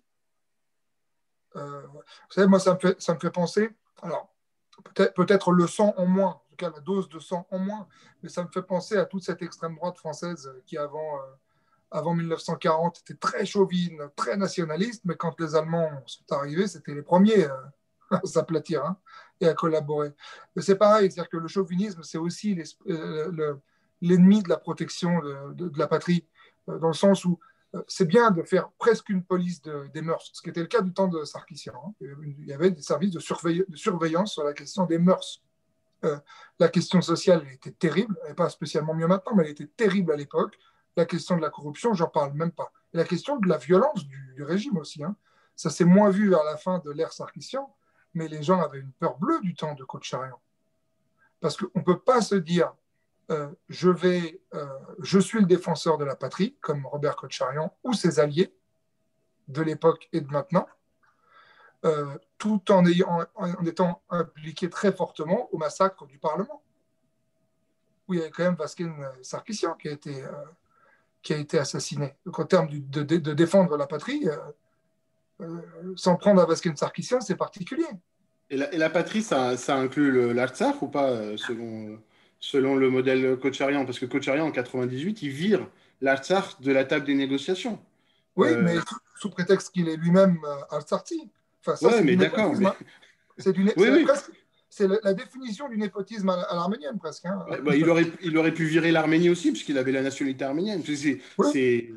C'est incroyable. Euh, ce même Kocharian qui déclarait dans la presse turque l'Arménie n'a pas de revendication vis-à-vis de l'État turc. Le génocide, c'est quoi le, préjudice subi, euh, la demande de réparation, le refus de l'Arménie historique de signer un certain nombre de traités avec la Turquie parce que ça équivaudrait à une reconnaissance territoriale, puisque cet État nous a volé nos terres et occupe une partie euh, des terres historiques de l'Arménie, mais pas historique d'il y, a, y a 300 ans, hein, historique d'il y a, y, a, y, a, 100 ans. Quoi. Euh, bon. Les particulier. sont malvenus de ce côté-là. Hein. Bien sûr. Donc euh, il, faut, il faut être sérieux. Puis surtout, il y a la question, euh, il y a la question de l'argent et du monopole, parce que euh, une bonne partie de ce qui existe en Arménie appartient à Robert Kocharian. Et qu'il faut, se poser la, faut se poser la question comment on est dans son coin au Ralaba en 88 et qu'on devient propriétaire de à peu près toutes les banques en Arménie, d'une énorme partie de la presse, de diverses grosses sociétés en Arménie et de mines de diamants en Afrique? Quel métier on a fait pour ça? Quelles études ont été faites pour faire ça? Il n'a été que président de la République d'Arsar et président de la République d'Arménie. C'est-à-dire que si au moins il avait été homme d'affaires avant, on aurait pu avoir le doute. Quoi. Et puis, c'est lui qui a organisé, et je dis bien, euh, je dis pas qu'il pas, je suis pas en train de vous dire qu'il n'y avait pas de, mafia ou de corruption avant Cochario. Bien évidemment qu'il y en avait beaucoup déjà sous l'ère de Levon, mais c'est lui qui l'a monopolisé et organisé cette corruption-là, qui a tué le pays en termes de défense nationale. Alors, on a une question aussi, et après on passera au dernier sujet euh, rapidement, euh, qui est de savoir qui pourrait du coup remplacer Pachignan quand on voit le, tableau de l'opposition. Moi, pour apporter ma pierre à l'édifice, je dirais que là, en ce moment, il n'y a personne. Hein. Non pas que Pachignan soit la bonne solution, euh, vous avez entendu ce que j'ai dit avant, euh, mais il n'y a personne de mieux. Si je peux donner une info supplémentaire, quand on était sur place avec mes camarades de Charge Room, on n'a franchement pas beaucoup vu de l'État sur place. La société civile, en revanche, c'est très bien organisée. Et si on, j'ai pas envie d'avoir un discours vraiment de dire ils tous pourris et puis on se débrouille sans eux, mais de fait, le prochain dirigeant de l'Arménie sera probablement pas quelqu'un de brillant, si les élections ont bien lieu, en tout cas là dans les, dans les mois qui suivent. J'espère me tromper, hein. mais même si ça n'arrivait pas, bah, la seule chose que je peux dire, c'est qu'il faut que la société civile continue à se mobiliser. Nous, on continue à se mobiliser en contact avec les gens de la société civile, et on va essayer de faire avancer le pays de cette façon. Parce qu'avec les hommes politiques actuellement, je ne vois pas, pas grand-chose de très positif euh, à court terme. Ben, moi, je, vais m'exprimer là-dessus euh, rapidement euh, depuis, depuis Paris, quoi. Mais euh, donc c'est plus facile à faire d'ici que, de là-bas. Effectivement, il n'y a personne qui se dégage à l'heure actuelle de charismatique et autres. Maintenant, ça ne fait pas tout le charisme aussi. Hein. hormis le romantisme très 5 République que ça peut être, ça, ça ne change rien. pourtant, Nicole Pachignan était très charismatique quand il a pris le pouvoir. Euh, comme plein d'autres qui ont déçu hein, dans le monde. Hein. Donc, euh, il faut aussi ne, pas perdre d'idée. Enfin, il ne faut pas non plus déresponsabiliser. Quoi. le peuple peut aussi agir, euh, quels que soient les dirigeants. Alors, c'est dur. Hein. Effectivement, les, ONG humanitaires ont beaucoup de mal à travailler sous l'ère Coacharian et Sarkisian. en tout cas, celles qui voulaient rester dans l'honnêteté. Mais il ne faut pas perdre d'idée que la démocratie, elle se fait aussi en bas. La vie démocratique militante, elle se fait aussi en bas. Mais je n'ai pas de réponse pour la question, euh, pour la question initiale, malheureusement. Et du coup, pour passer au, dernier sujet qu'on voulait aborder ce soir, ça part d'un fait divers, et on va partir de manière plus, plus générale, qui est euh, une attaque contre euh, le centre culturel arménien de Marseille. une attaque à l'arme à feu. en préambule, entre guillemets, avant de, que tout le monde s'exprime, je voudrais rappeler un, J'en rappelais quelque chose, c'est, je ne souviens plus de son nom, je crois que c'était Ahmed Chetin, qui a proféré des menaces contre les Arméniens en, l'été dernier, en disant que le gouvernement turc lui donne 2000 euros et une arme et il, fera le travail, qui disait on peut le faire à Lyon, lui-même et la région lyonnaise, on ne peut pas le faire à Marseille ou à Paris parce que les Arméniens sont trop nombreux là-bas. Entre-temps, j'avais parlé avec euh, une camarade de Charjoum qui vient de Sarcelles ou Arnouville, je ne sais plus, et qui, une fois un Turc, lui a fait le symbole des loups après, avoir identifié qu'elle était clairement arménienne. Arnouville et Sarcelles, c'est parmi les, les, villes où il y a une grosse communauté arménienne. Il y a aussi une grosse communauté turque d'ailleurs. Et maintenant, cet événement à Marseille. Ce qu'on constate, je pense, c'est que dans les zones où de base on était présent, on était organisé, quand des communautés venues de Turquie et les groupes nationalistes venus de Turquie s'implantent, petit à petit, ils nous dépassent. Et petit à petit, ils nous poussent nous-mêmes à nous cacher, à partir. On se souvient de ces manifestations avec 300 personnes ou 60 personnes à Dijon euh, pour dire les Arméniens, vous êtes où? Ils viennent chez nous pour nous intimider. Et là où avant ça pouvait pas se passer du tout, après ça a pu se passer dans des villes où il y avait une forte communauté turque, peut-être plus nombreuse que la communauté arménienne, bah, même là où il y a six mois, certains disaient là on ne peut pas encore agir, bah, aujourd'hui ils arrivent à agir avec des armes à feu. Alors bon, ils n'ont pas non plus fait une manifestation à 300 personnes, ils sont peut-être pas complètement sereins, on sait pas comment. D'ailleurs, je ne suis pas sûr qu'on sache qui a, vraiment fait l'attaque, mais on va partir du principe, là je pars du postulat que c'est probablement des nationalistes turcs, en tout cas Sinon, je ne sais pas du tout qui ça peut être. Ça peut être autre chose. Hein. Il ne faut, pas, non plus euh, porter d'accusations gratuites euh, sortent nulle part. Mais dans le climat actuel, évidemment, c'est la première chose, la première menace qu'on identifie. Mais d'une manière générale, ce que ça montre, c'est qu'on n'est plus capable de se défendre. Alors quand je dis se défendre, je ne dis pas qu'il faut tirer aux armes à feu sur les gens non plus. Hein. Je... C'est absolument pas mon propos. Mais petit à petit, il y a des groupes de plus en plus violents. Et ça, c'est pas nouveau parce que déjà, il y a dix ans, la DGSI avait sorti un rapport interne, mais qui a été sorti sur Internet, où il mentionnait l'apparition de groupes nationalistes turcs de plus en plus puissants. Il, mentionnait que ça pourrait être une menace pour la sécurité des ressortissants d'origine arménienne. Donc il y a dix ans, ça se savait dans l'État français avec un rapport qui a été publié, enfin publié, qui est sorti en tout cas, je ne sais pas s'il a fuité ou pas, mais je sais qu'il est disponible sur Internet. Il est peut-être toujours d'ailleurs si vous voulez le retrouver. Euh, nous, les Arméniens, qu'est-ce qu'on a fait depuis dix ans pour se protéger en sachant qu'il y a ces groupes de plus en plus violents qui étaient présents et qu'aujourd'hui, ils se permettent de manifester à 300 dans les rues et, si c'est eux qui ont fait l'attaque à Marseille, de tirer sur les, biens qui sont dans les nôtres, et sinon en tout cas de taguer dessus, ça, a déjà été fait, de profaner euh, différents euh, monuments qui sont arméniens en France. Qu'est-ce qu'on a fait pour se défendre là-dessus? J'aurais tendance à dire pas grand-chose. Qu'est-ce qu'on va faire Là, je pense qu'il y a quelque chose à, réfléchir. Oui, il y a des choses, il faut réfléchir à un certain nombre de choses. Euh, je ne pense pas que maintenant on soit faible. Je pense que maintenant, le camp d'en face a vu qu'on était faible. Euh, et la, leçon qu'il faudrait tirer, je pense, pour les Arméniens, d'Occident, hein, États-Unis, Europe, euh, grosso modo, euh, c'est qu'ils ne sont plus non plus en sécurité. C'est-à-dire qu'on voyait toujours. bon, la Turquie, c'est à part. Hein. Ok, voilà, il y, a des. des c'est compliqué pour les Arméniens en Turquie. Euh, voilà. Après, il y a eu l'Irak. Euh, d'accord. Après, il y a eu euh, bon, la Syrie. D'accord. Mais en réalité, il y a eu les manifestations dont tu as parlé, Thomas. Vienne, Dessine, Dijon, il y a, quelques, il y a deux mois maintenant, hein, qui étaient quand même des chasses à l'Arménie. Hein. Les, propos sont explicites, les actes sont explicites, les slogans sont explicites. Hein. mais il y a un an, dans une école arménienne à, San Francisco, qui est dégradée aussi. Euh, il y a deux ans, Yericho en parlait tout à l'heure, c'est les gardes du corps euh, d'Erdogan, sur ordre d'Erdogan, euh, qui vont casser la gueule aux manifestants, surtout kurdes, ou pro-kurdes en tout cas, en plein Washington. Bon, si ça avait été arménien, ça aurait été pareil. Donc, tu veux dire, c'est qu'on n'est pas préservé.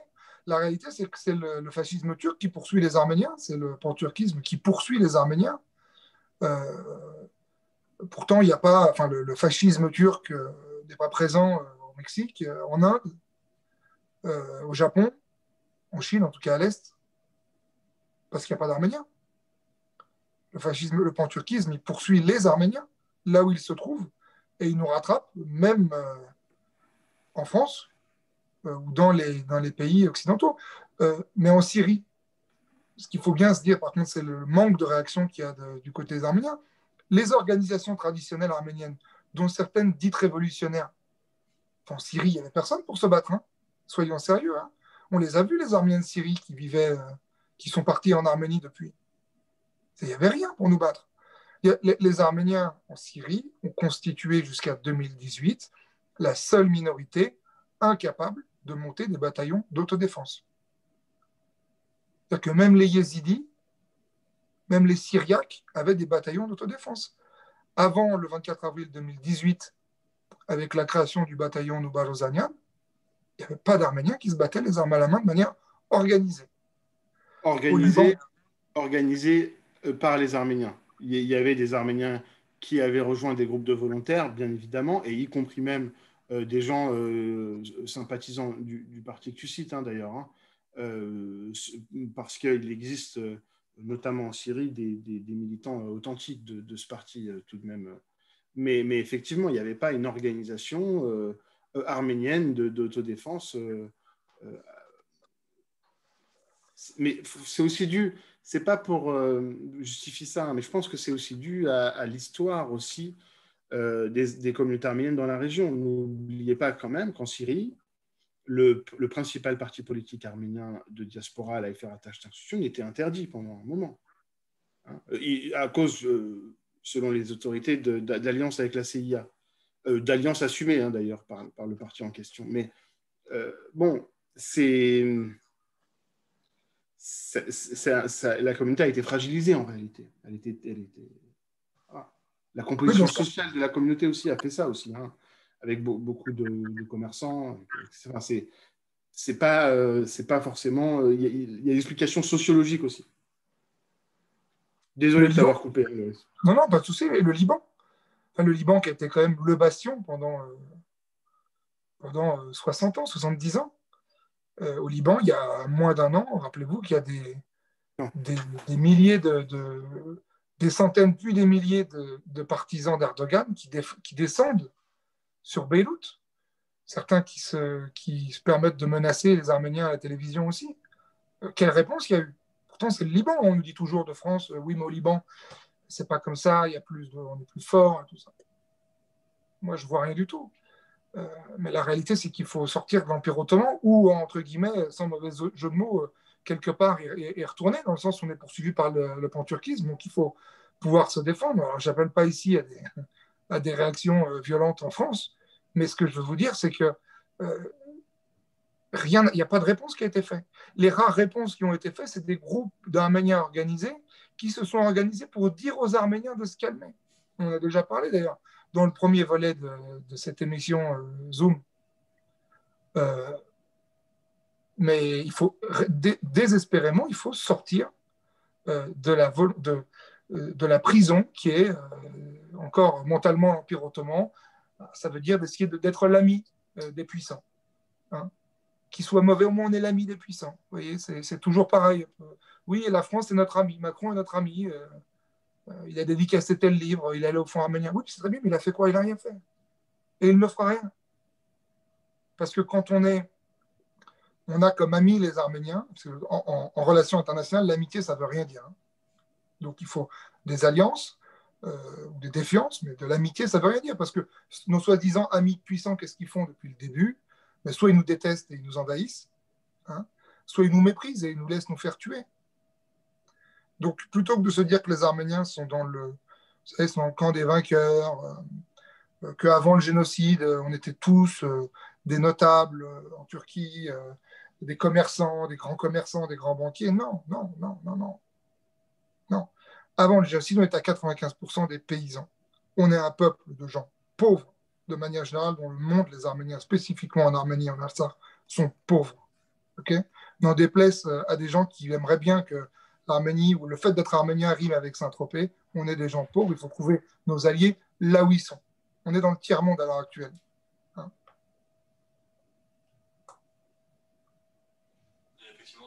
À certaines. Euh, euh, ah, pardon. Ouais, non, je, voulais rebondir sur ça parce que, parce que, parce que, comment dire, euh, normalement, ce, type de, de, problématique doit être réglé par les autorités publiques. Force est de constater qu'au Liban, en, Syrie, je mets à part parce que c'est un problème de guerre civile euh, qui, est, différent. Mais en France, c'est normalement aux autorités libanaise et française de protéger la communauté arménienne. Enfin, toutes les communautés. Bon, il y a eu des manifestations anti-arméniennes euh, à Beyrouth, euh, comme le disait Loris, et en France, il y a eu des tentatives de pogrom contre les Arméniens. Des gens qui ont débarqué dans les endroits où vivent les Arméniens, euh, plutôt en communauté, enfin les endroits où il y a beaucoup d'Arméniens, en fait, pour, pour, pour les tabasser, quoi, avec des menaces de mort, de viol, etc. Les autorités françaises, qu'est-ce qu'elles ont fait? Elles ont demandé gentiment aux gens de partir, mais surtout, elles ont, et c'est très rare en France, euh, le, responsable de la communication de la préfecture du Rhône a, fait une vidéo euh, publiée euh, pour expliquer qu'il y avait des affrontements entre communautés, qu'il y avait en, gros des tensions entre la communauté arménienne et la communauté turque, et que voilà. C'est-à-dire que les Arméniens n'ayant rien fait sont responsables de, cette situation presque. Euh, voilà, on est lâché par ces autorités. C'est comme ça. On est lâché par ces autorités. Euh, elles ont euh, dissous le, groupement de fait Les Loups Gris, qui n'a pas d'existence légale. Les Loups Gris n'a jamais été une organisation officielle. C'est comme ça. Par contre, les loups gris ont, contrôlent un certain nombre d'organisations en France. Ces organisations, pour l'instant, je n'ai pas vu de fermeture euh, euh, par les autorités. Donc, euh, c'était pour embêter Erdogan à un moment. Aujourd'hui, on est dans une situation quand même. Je rappelle qu'en 2013, l'État turc s'est quand même permis d'assassiner trois militants de Kurdes à Paris, en plein Paris, et que ça n'a pas brisé les relations d'alliance entre la Turquie et la France. Euh, et, que, cette année, il y a quelques jours, une église arménienne à Marseille a été, euh, visée par un coup de feu. Donc on commence par des attaques dans les quartiers arméniens, des coups de feu maintenant. C'est quoi la suite? Et je, vous, prends le pari que les autorités ne, ne feront rien.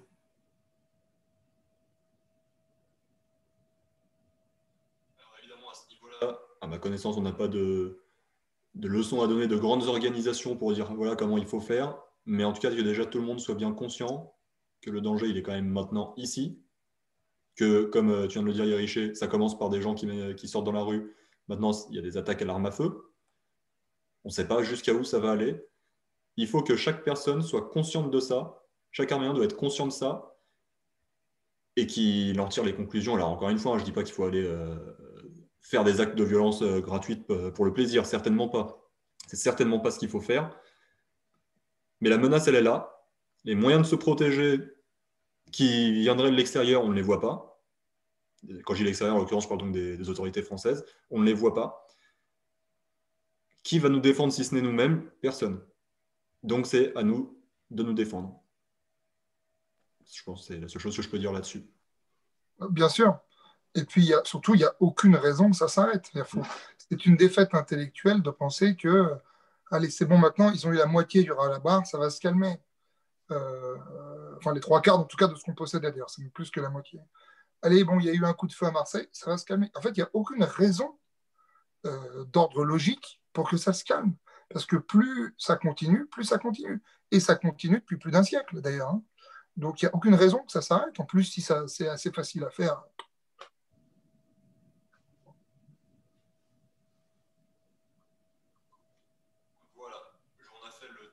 sujet. Ça fait un peu plus d'une heure et demie de, live, donc on va, on va conclure. Je ne sais pas si vous avez un, mot pour conclure, euh, Yeriché, Loris, si vous voulez dire quelque chose.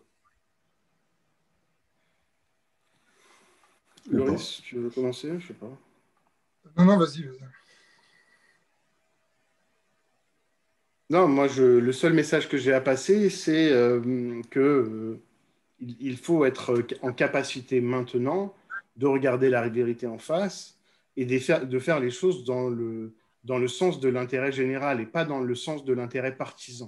Vous savez, on a, cette guerre a montré de très mauvais réflexes. Il y a ceux qui veulent tirer la couverture à eux. Il y a ceux qui veulent profiter de la situation pour redevenir chef ou pour devenir chef, pour prendre la place d'un chef, un chef qui n'est pas toujours chef en plus. il y a ceux qui essayent de propager des fausses rumeurs, qui essayent d'attiser la division dans, à l'intérieur du peuple arménien. Euh, et, il y a ceux aussi qui vaillamment ont pris leurs responsabilités, que ce soit militairement, humanitairement, socialement. Euh, il y a des choses merveilleuses qui se sont passées pendant cette guerre. Je pense que c'est ça qu'il faut mettre en avant et pas, euh, pas nos pires travers de soumission au pouvoir, d'attentisme. Vous savez, s'asseoir au bord de la route et dire oui, quelqu'un va nous sauver parce qu'on est chrétien, quelqu'un va nous sauver parce qu'on a beaucoup souffert avant, quelqu'un va nous sauver parce qu'on est dans notre bon droit, quelqu'un va nous soutenir parce que euh, parce qu'il est humaniste et qu'on est aussi humaniste. Euh, euh, ça, c'est les, pires réflexes. et il y a pire encore, il y a ceux qui aujourd'hui essaient de trouver des boucs émissaires à l'intérieur du peuple arménien. C'est comment dire, c'est de la fragilité intellectuelle, ça. C'est de la lâcheté. C'est de la lâcheté de conscience. Pourquoi? Parce que cette défaite, elle est collective. Elle, incombe à chacun de nous. Alors certains sont bien évidemment plus responsables. Ceux qui ont pillé le pays, bien évidemment. Ceux qui ont euh, fait en sorte que les, les, que, que, y ait d'un million de personnes qui quittent le pays à cause des injustices, du manque d'espoir économique pour leur famille, bien sûr, et on a manqué d'hommes, euh, c'est certain. Euh, mais mais il faut assumer les choses. Cette défaite est collective euh, et la reconstruction sera collective. Mais ceux qui essayent de trouver des boucs émissaires, mais en plus ridicules, euh, j'entends dire euh, de la part de certains, quel courage, quel courage, que ce serait la faute des féministes si on, a perdu la guerre, comme si c'est elles qui décidaient des stratégies militaires, comme si c'était elles qui étaient au front, ou comme si c'est rien à voir. il n'y a aucun, aucun, aucun des volontaires qui est allé combattre en Alsar euh, pour protéger l'existence du peuple arménien, qui s'est dit ah oui, mais peut-être que je ne vais pas y aller parce que euh, j'ai entendu une féministe qui était contre la guerre. Mais y compris les gens qui sont allés porter les armes étaient contre la guerre. Et c'est d'ailleurs pour cette raison qu'ils sont allés porter les, armes. C'est parce qu'ils voulaient se défendre pour éviter que cette guerre continue et, et aille plus loin dans l'espace arménien. Euh, il y a des choses positives qu'il ne faut pas oublier et j'ai peur que toutes ces divisions, cette recherche de boucle émissaire et ces tensions internes fassent oublier ça et qu'on se comporte comme si euh, ben, on avait perdu la guerre sans honneur. Je ne pense pas qu'on ait perdu cette guerre sans honneur parce que, parce que, parce que les gens se sont battus vaillamment. Euh, en même temps, c'est chez eux, c'est leur terre, je le comprends. Et, mais notre admiration doit porter sur eux. Et s'il y a des symboles qui doivent fonder l'Arménie de demain, c'est ces gens-là c'est ces, gens qui sont allés même sans chaussures, avec des kalachnikovs usagés datant de la première guerre du Ralabar, essayer de protéger ce qu'il y avait à protéger, c'est-à-dire les gens, la terre, etc. Et, ces gens-là, on est en train de les oublier avec des querelles politiciennes. C'est très triste. Donc voilà, retenons ce qu'il y a de positif, même s'il y a peu de choses positives, mais le peuple arménien a montré euh, une fois de plus l'esprit de résistance qu'il caractérise.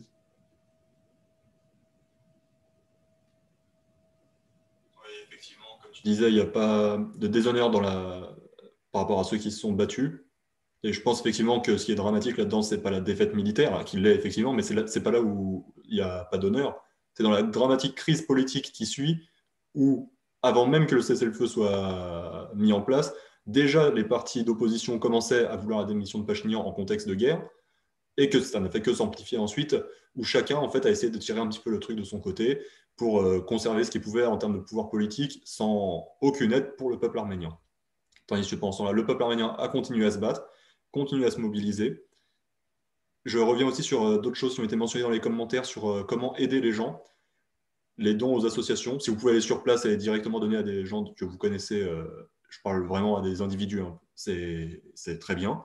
Si vous pouvez donner à des associations, vérifiez évidemment dans quelle mesure ils sont bien fiables on a malheureusement vu des choses euh, avec parfois des grandes associations dont la fiabilité était parfois douteuse. Je renvoie au précédent live, celui de notre retour d'Arménie, où on revient sur nous, par exemple, comment on s'est mobilisé. Nous-mêmes, Chargeau, on fait régulièrement des cagnottes, souvent en, partenariat avec d'autres associations. La dernière en date, à ma connaissance, c'était Queerigs, qui est une euh, association euh, américaine, arménienne-américaine. arménienne, enfin, ils sont en Arménie aussi. Hein? Oui, c'est vrai. En plus, on les des Arméniennes euh, des États-Unis, mais aussi des Arméniennes de, d'Arménie qui, qui, euh, qui, qui, font un projet sur les. tu voulais en parler, Thomas? Je te laisse en parler si tu veux. Vas-y. Un projet qui s'appelle My qui consiste à être. bon, Quirig, leur, leur, leur, credo, c'est de dire voilà, solidarité, solidarité entre sœurs. Et là, en l'occurrence, elles, elles, elles, ont monté un projet qui consiste à aider les jeunes mères d'Altsar qui ont été particulièrement touchées par, par cette guerre en termes de précarisation et les femmes enceintes. Donc, c'est l'aide dans l'accompagnement avant l'accouchement, c'est des, des, des, paquets de première nécessité, etc., pour le bébé, pour le futur bébé, etc. etc. Enfin, c'est de, de l'aide aux femmes qui ont des enfants en très bas âge ou des femmes enceintes. Et donc, elles nous ont travaillé ensemble, donc on, collecte l'argent pour, pour leur envoyer.